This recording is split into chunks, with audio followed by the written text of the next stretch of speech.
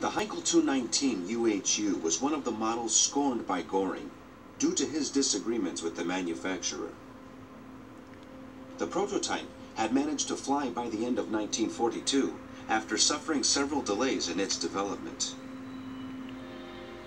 With weaponry that consisted of six 20mm cannons, it surpassed in its performance and capability the British Mosquito.